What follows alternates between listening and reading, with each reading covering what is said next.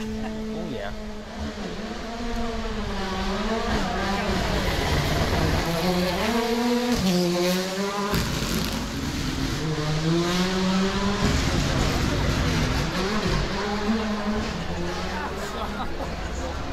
This is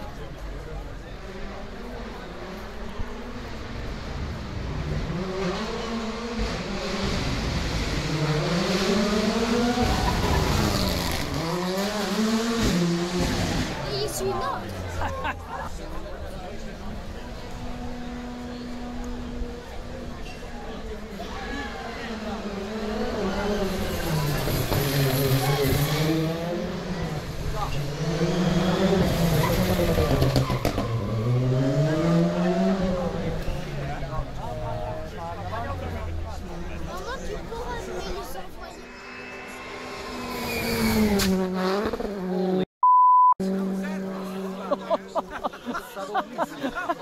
tu